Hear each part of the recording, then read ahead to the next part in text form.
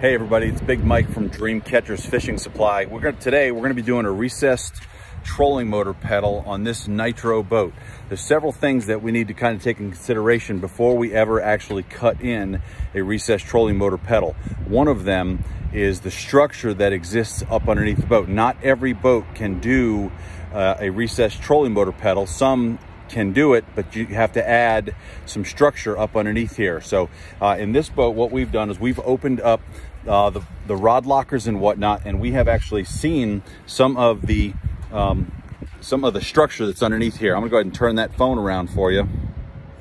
So as we can see from down inside of here, our structure travels all the way up inside there to be able to get that, um, to make sure we're not gonna have a big dip in that front deck. And this goes on both sides. So the structure goes on both sides of that, uh, of that uh, where the recessed pedal is gonna go. Next, we want to go ahead and reach up inside of there and kind of make sure that there's, uh, there's structure on the bottom. You know, make sure we've got the thickness. You know, a lot of these boats have a tendency to be way too thin. Here, we've got about an inch and a quarter thickness in this deck. And as I reach all the way up inside of this box here, I can feel that thickness stays about the same all the way through. Okay, so we've got the recessed pedal and what we want to do is we want to make sure that it is straight. The last thing you want to do is have a crooked pedal up there and then you got your foot in this thing and it's crooked all the time. So we set it on the boat and then from the back side here, we're going to make sure it aligns correctly all the way down the boat. Again, if it's crooked, it's going to be all kinds of kooky and wompy and we don't want to have that. We want to have that thing nice and straight. We want to be centered on the boat.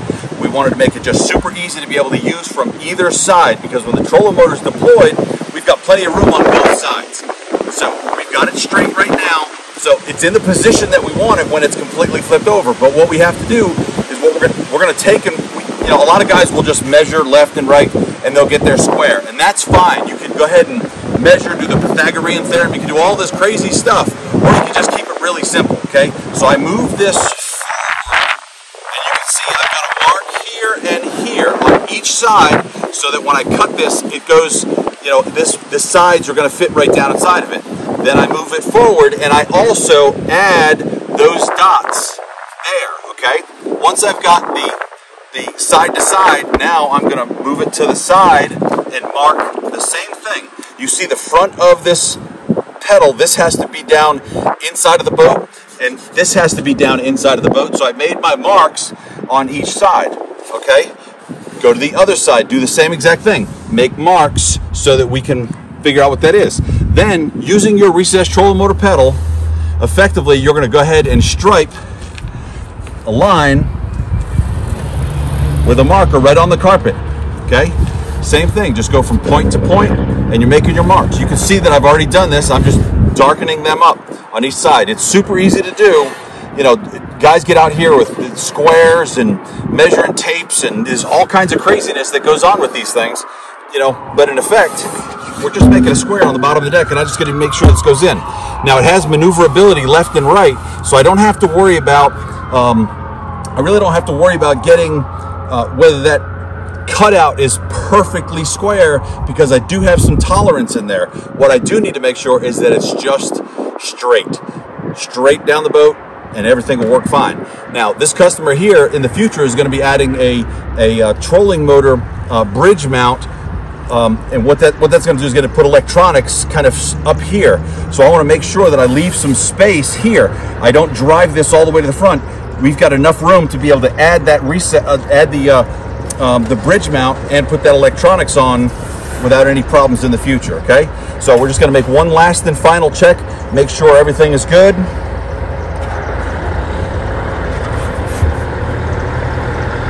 Looks good to me. Let's go ahead and cut it out. Ready? So there's three different kinds of tools that you can use to cut this thing out, right? If you've got a saw blade on a grinder, you can certainly use that. It is my least preferred because it's kind of dangerous and it doesn't have very good stability and you rely on yourself to cut it. So this is the least favorite, but it will work. The second one is a Fein tool or a uh, just a, a, small reciprocating saw that I could actually dig into and cut. The problem with this is it doesn't offer me a lot of blade distance or make a straight line, so it ends up being all crooked. The best option here is to actually do a skill saw, or a circular saw. And what we do is we cut from corner to corner and then come back with the, Fein tool and be able to cut those corners out so we can collapse and pull this out of the center, okay? Let's go ahead and get cutting.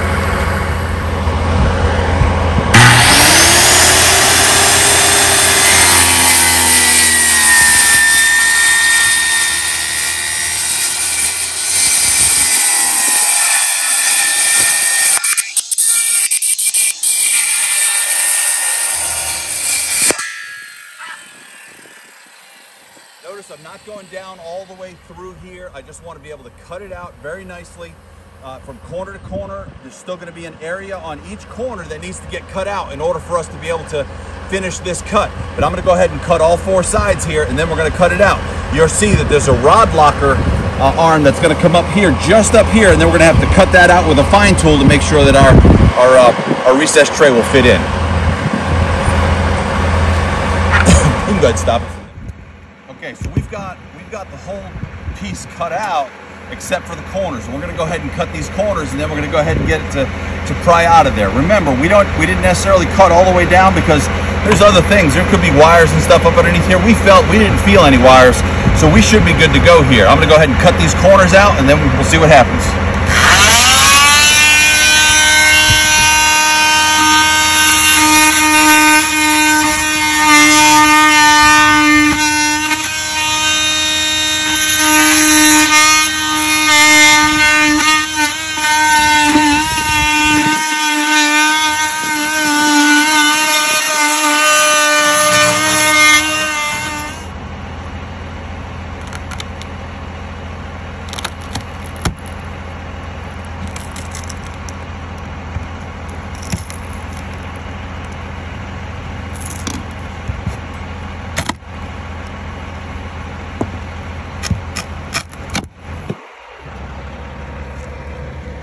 There we go. Okay, you can see the thickness that's going on here. This is a solid chunk of fiberglass that we just pulled out of there. So this is gonna be a very sturdy front deck piece when we're all said and done. And you can see there's a there's the boxes here and boxes here. This actually helps to provide just a little bit of structure for the recessed pedal as, as, it, uh, as it goes down in there. Let's go ahead and check it for fit.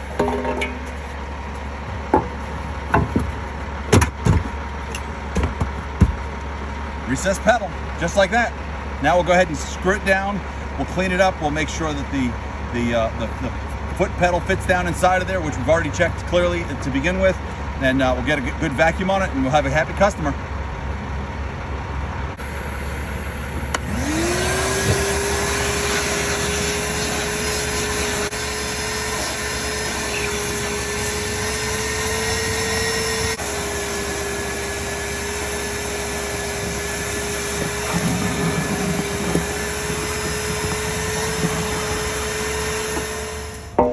Right, so what we're gonna do is we're gonna go ahead and drop this down in here. We're gonna start pre-drilling some holes for this to be able to get down inside of it. Yeah, the correct size screws to be able to put onto this, okay? So I'm using a number eight, three quarter of an inch. You can always get a bigger, but you can't ever go smaller. So once you drill something out, you better make sure that it is exactly what you need, okay? So I'm looking at my head size. That's a great size here. If the customer wants to go with a size 10, he could go with a size 10 too, but this is not gonna go through as we look at the as we look at the depth that this is going to travel, it's going to go down into it, you know, approximately that far. I'm not going to go down through here just in case anything else goes on.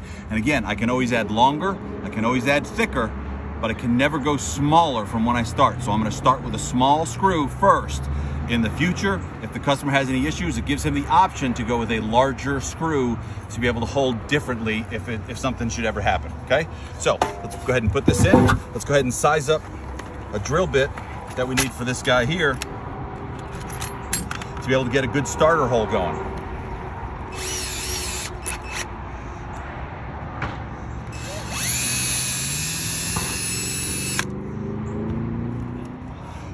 Okay, we got the first one drilled out. Now, there is almost no play in this. We cut that super, super tight, which is, again, that's a great thing to do, but we, we always have plenty of room. Notice you can't see the black lines that are going anywhere.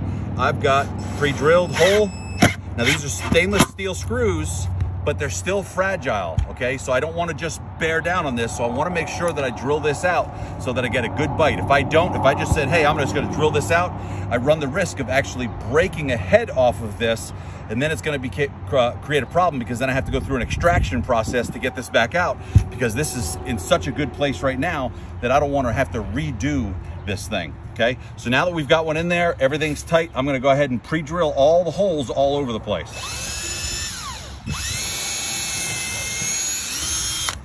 So some of you are wondering, you know, what are the holes that are here? Well, there's water holes that are inside of here. Down inside of here is access to the bilge. As soon as the water drips down through here, because you don't want this puddle, uh, pedal to fill up with water, you want water to be able to get down inside of here. It gets down here, goes into the bilge, goes all the way to the back so that it can be, you know, sent out of the boat uh, when you're pulling it off the water or through a pump. So all that's gonna go through here is water. That's all that's gonna happen. The pedal, pedal, the pedal when it goes in here is gonna cover all of these holes. So you're never gonna see any of this. And we're just gonna go ahead and fasten it down to the actual bottom of this. Let's go ahead and finish up with these screws.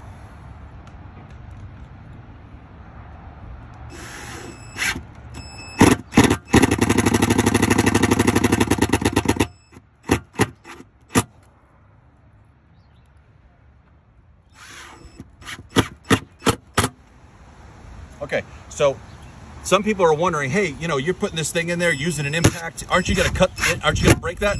So look, the impact starts to go and it starts to get very difficult. So what I'm gonna do is I'm actually gonna pull it back out and drive it right back down, okay? And it'll send it right through. You can choose to send it fast and hard and risk breaking that screw, or you can just get it down a little bit, let that impact start to hit it a little bit, back off, and then go right down. It'll go right in, okay? That one went right in, no problem. If you start running into uh, any resistance, you want to stop immediately. That one went in, no problem. Back it off and then go right back in. No problem.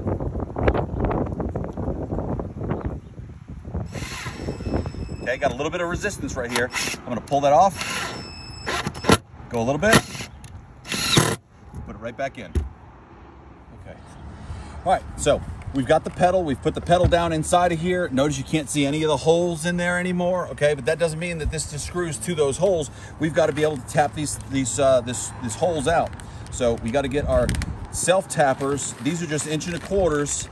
And what we're gonna do is we're gonna self tap. This is a metal um, metal recessed tray. Some are fiberglass, some are you know, different things. If you got a fiberglass, go ahead and pre-drill it. This one comes with a pre-drilled head on top of it. So we're just gonna screw right down through that right when, when we got it in position, okay? One thing you need to make sure of when you're getting into position is as I move this head around, you can see the foot pedal changing its direction, okay? Saying how height it is, how high it is. So when when we've got the, the, the recessed pedal in one direction, we can't put all the screws in every spot. So what I'm doing is I'm balancing that trolling motor up so that I can go ahead and get the screw here. If the recessed pedal is up, I can't access that hole very well. It also helps to have the correct tool, okay? This here, I can get in there. This here, I can get in there even better. This is just a long extension piece, the number two we put it all the way down inside of there.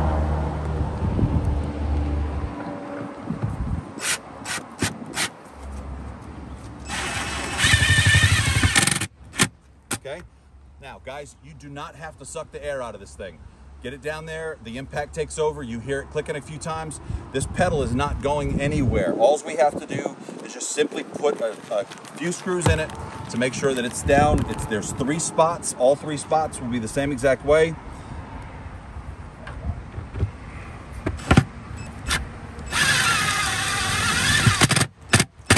Okay, it's pretty simple.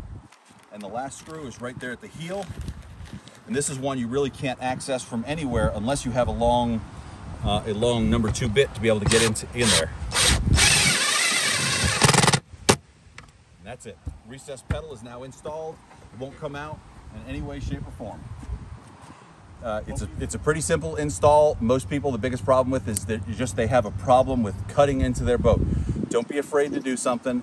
You know, if you if you're afraid to do something, you're never going to succeed. There's just I can tell you that right now. Um, give us a shout. Dreamcatchers Fishing Supply, 828-354-0250. If you have any questions at all, uh, I'm Big Mike. Just you know, anybody here is qualified to be able to install one of these things. We've got great employees. Just ask anybody, hey, how do I do this? They can talk you through it over the phone. When you do call, please have an open mind about what we're talking about, okay? Thanks. See you next time.